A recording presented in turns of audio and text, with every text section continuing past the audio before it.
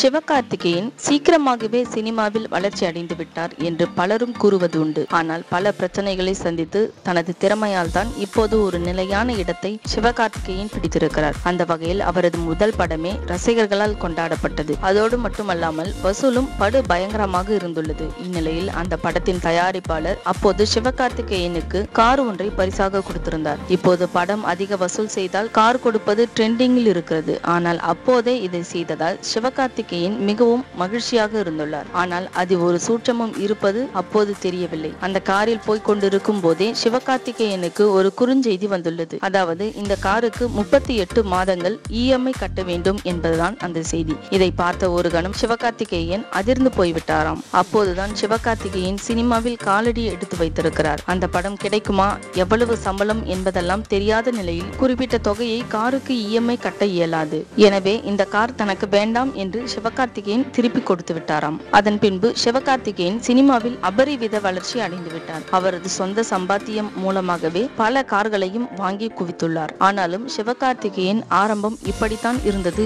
என்பது ஆச்சரியப்படும் விதமாகத்தான் இருக்கிறது. இந்த வீடியோ உங்களுக்கு பிடிச்சிருந்தா லைக் பண்ணுங்க ஷேர் பண்ணுங்க கமெண்ட் பண்ணுங்க.